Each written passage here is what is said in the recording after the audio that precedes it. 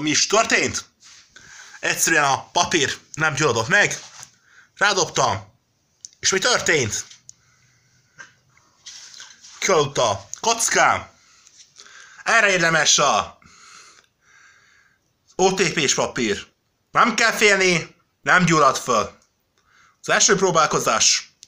Most jött a második próbálkozás. Hát ha sikerül felgyújtanom a papírt, de próbálkozás nem vált be, talán másodszorra be fog válni.